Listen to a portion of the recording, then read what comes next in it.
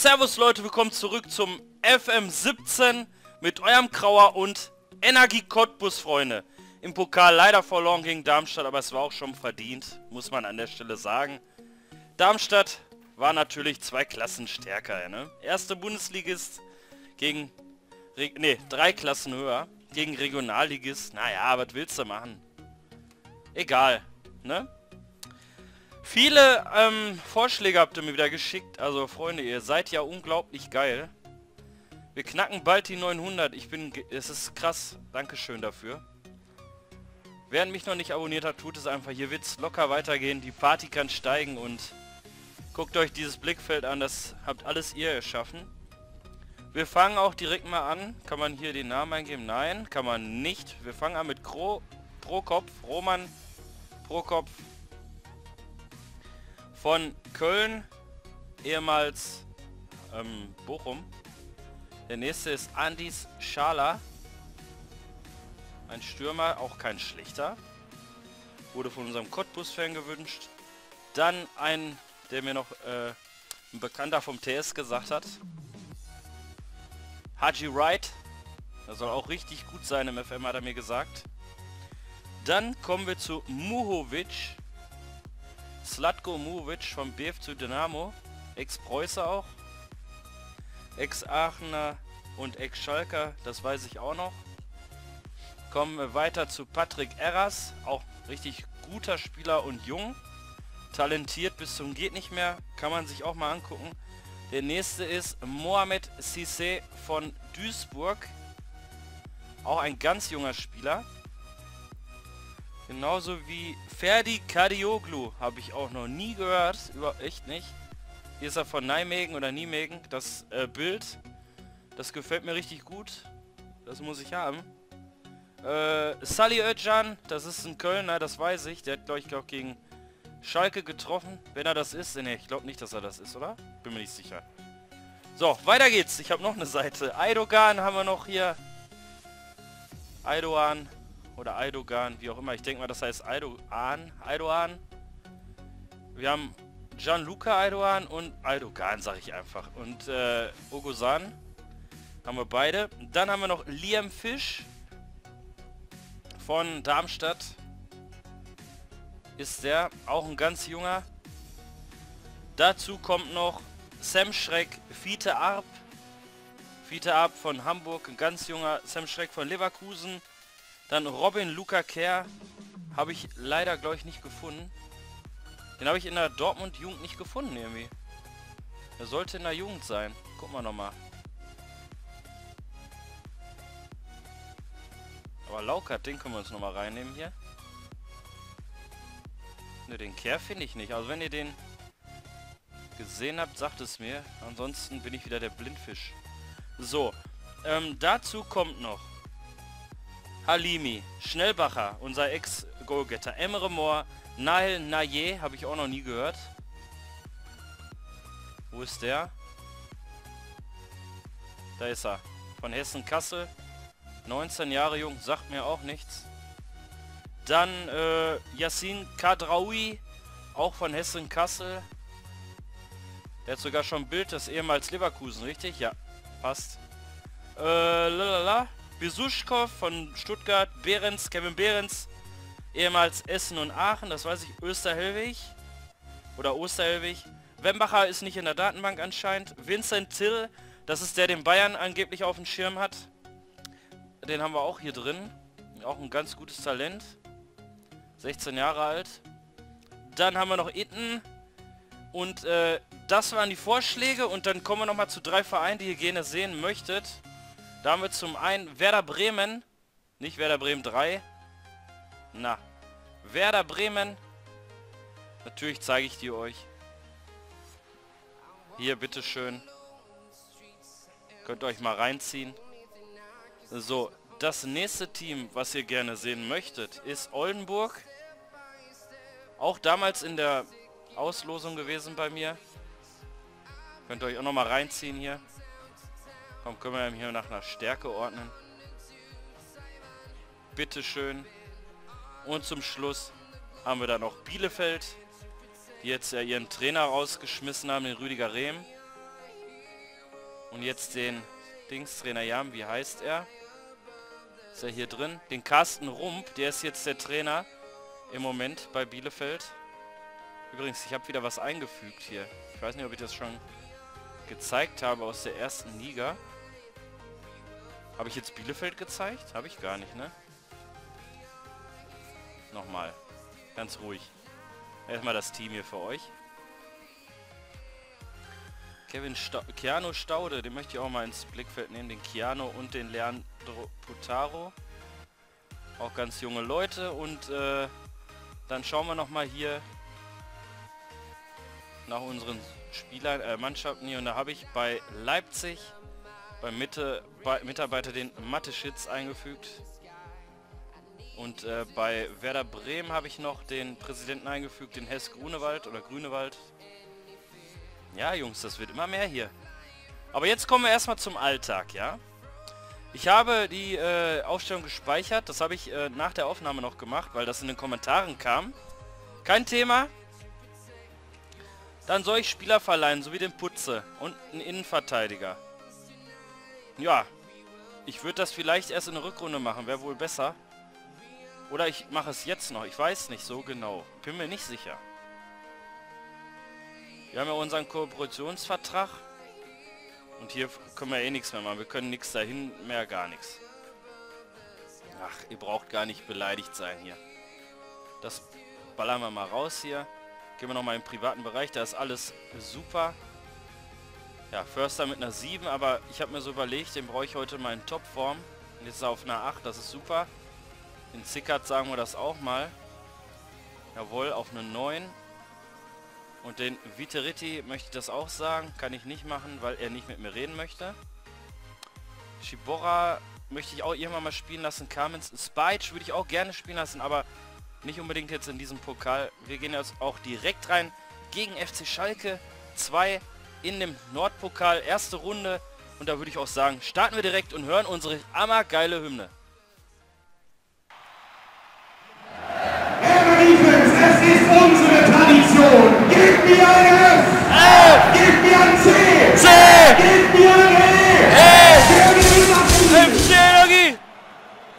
671er Stacking, 629. Erste Runde DFL Nordpokal, Freunde. Ja, Erste Chance direkt. Förster mit einem an sich harmlosen Schuss. Becker war schon in die richtige Ecke. Doch, er fällt den Ball noch ab.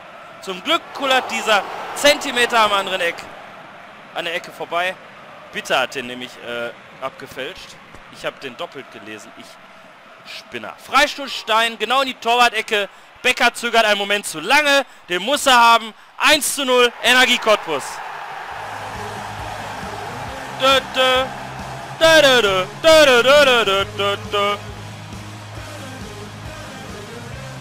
Können wir mal weiter so reinknallen hier. Bitte Ritti kann sich auf den linken Flügel nicht gegen Neumann durchsetzen. Schlüter kommt zur Unterstützung. Bekommt den Ball, flankt in die Mitte. Den Kopf aber ein Zickert kann er noch abwehren. Noch gegen Förster ist er machtlos. 2-0. Jawolla. Jürgen Luginger hat sich den Auftakt hier anders vorgestellt. Ich hätte auch nicht damit gerechnet, direkt, dass wir so eskalieren. Hoher Ball nach einem Freischuss für Cottbus. Becker klebt auf der Linie. Kopfball Förster. Tja, 3-0. Neun Minuten gespielt. Was ist denn los? Doppelpack. Benjamin Förster. Eskalation pur. Matthias Asamoah über drei Ecken verwandt mit Gerald. Nein, das ist natürlich Quatsch. Ist der Schiedsrichter. Der greift gnadenlos durch, ja. Die Fans bejubeln jetzt jeden erfolgreichen Pass ihrer Mannschaft. Das heißt für uns, sollten wir jetzt noch ein paar Törchen schießen, kommen die ganzen jungen Wilden rein. Hoher Freistoß von Steil zu Vitteritti. Der kann den Ball nicht mehr drücken, köpft ihn somit über das Tor.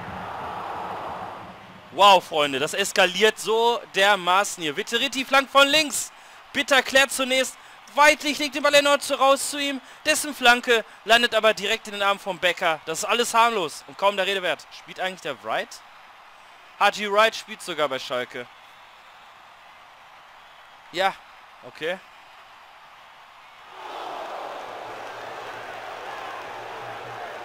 Alles klar.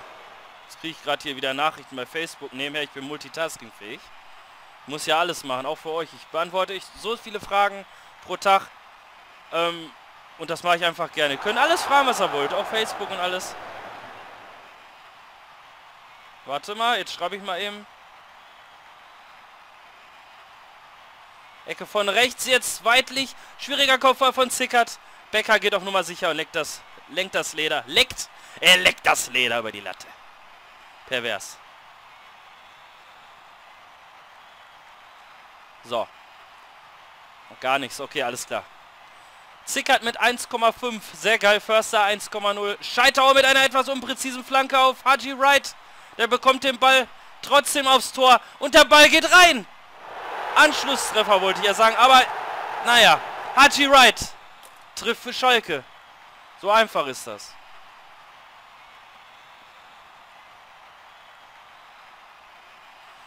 Der Halbzeitpfiff. Übrigens, der Chris Müller hat mich gerade angeschrieben. Unser Supertalent. Er hatte mich gerade was gefragt. Wenn du das siehst, Chris, schönen Gruß wünsche ich dir. Wollte ich dir bestellen. Und jetzt sind wir erstmal in der Halbzeit. So haben wir uns das vorgestellt. Mal hier die alten Säcke hier alle nochmal durchkneten und den Rücken bejuckeln so richtig. So. 1,0, 1,5. Die bleiben aber alle so drin erstmal. Zweite Halbzeit, auf geht's, Freunde. Jetzt geht's erstmal richtig los, würde ich sagen. Ah, so. Spieler aufwärmen. Schalke aber erstmal nochmal. Wright verlängert einen Einwurf zu Pachonik. Der ist alleine vom Meier und schießt auf sieben Metern knapp am Tor vorbei. Unser Glück. Weidlich kommt gegen Pachonik zu spät und es gibt Gelb für ihn. Freunde, jetzt fangt mir nicht so an, dass ihr jetzt hier euch gelbe Karten abholt. Hole mal eben kurz mein Ladegerät vom Handy. Und derweil die Ecke, Becker fängt sie ab. So, dann Konzentration nochmal reinballern. Zickert sieht auch noch gelb für einen Mini-Foul. Okay. Super, dann würde ich sagen, ist jetzt Schluss für Förster und Mamba kommt rein. Schalke wechselt auch nochmal. Wir bringen erstmal den Mamba rein. Und ähm,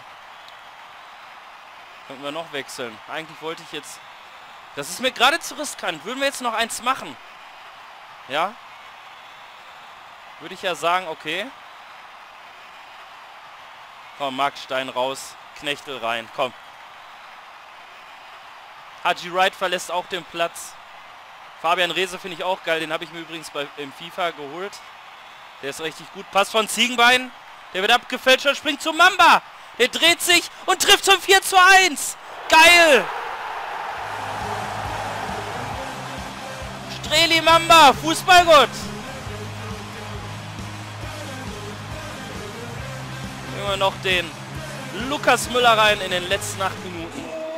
Auch wenn das nicht so viel bringt, aber wir kontrollieren jetzt das Spiel.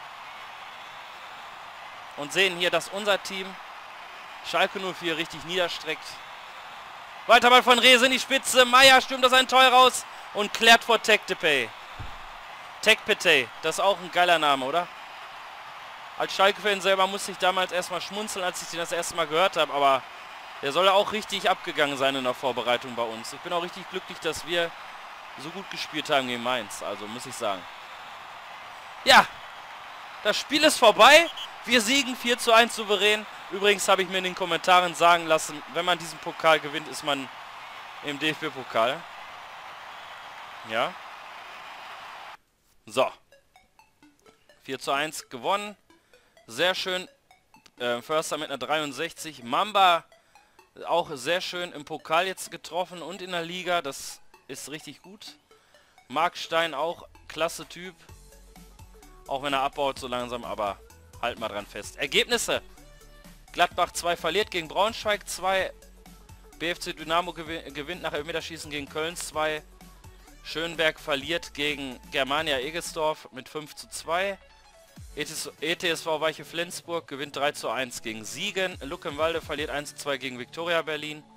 Drochtersen Assel verliert 1 zu 2 gegen Oberhausen. Wolfsburg 2 verliert 1 zu 2 gegen Wiedenbrück. Essen gewinnt souverän durch drei Tore von Löning 0 zu 3 gegen Jena. Martini Wolfsburg ist auch raus, 0-2 gegen Rödinghausen. Ja, wir gewinnen gegen Schalke. Eintracht Nordheim verliert 2 zu 3 gegen Oldenburg. Düsseldorf 2 mit dem Ex-Schalker Paul Stieber aus der Jugend, kenne ich, also vom Namen her. Gewinnt 0 zu 1 gegen Optik Rathenau. VfB Auerbach haut Westfalia Rienan raus. Mit 2 zu 0. Berliner AK 1 zu 2 verlieren sie gegen Lichtenberg. Boah, das sind so viele... Ich mache das jetzt anders. Erkenschwick gewinnt, äh, ist weiter gegen Wattenscheid und Lüneburg gegen Pforzheim. Hildesheim ist auch weiter. Rot-Weiß Aalen gewinnt 3-0. TSB Flensburg gewinnt gegen HSV 2. Ja, Jungs, guckt euch die Ergebnisse an. Das sind mir jetzt zu viele gerade. Guckt euch die einfach selber an. das ist mir gerade so ein bisschen äh, zu viel. Das ist ein Riesenpokal. Also ich jetzt verstehe ich das auch mehr, dass halt unterklassige Teams auch in diesem Pokal mitspielen. Aus dem Norden halt. Und dass halt äh, die zweiten Mannschaften damit drin ist. Also ist schon gut gelungen, muss ich sagen. Hut ab. Deswegen also finde ich das ganz toll. Das kann man so machen und das hört überhaupt nicht hier auf. Deswegen, äh, ja. Tja, sind wir auch weiter. Jetzt ist meine Hündin gerade hier lang gelaufen. Leg dich mal wieder in ein Körbchen rein, mein Schatz. Komm, leg dich wieder hin. Ja, so ist fein. Die hat wieder einen Hund draußen bellen hören und wenn das der Fall ist, dann geht es auch ab wie Schmitz Katze.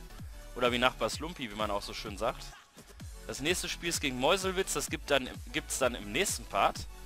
Nehmen wir noch ein paar Nachrichten mit. Pokalprämie haben wir 49.000 bekommen. Oh, das ist eine Menge Geld für uns, das ist super, nehmen wir gerne mit. Pokalauslosung gegen Germaniga Egestorf. Äh, Scouting abgeschlossen von Ahmed Arslan und Sponsor ist auch zufrieden. Wir haben das ja eingetragen hier mit den Scouts. Dass das Blickfeld da dann, äh, aber was sehen wir hier? So, das möchte ich abbrechen. Und wenn wir dann hier nochmal reingehen, hat er dann automatisch jemanden? Ne, alles klar. Gut, dann weiß ich Bescheid. Dann machen wir das mal anders. Gehen wir mal in die Jugendscouts rein. Ein Bol Bolzplatz äh, stiften werde ich jetzt nicht.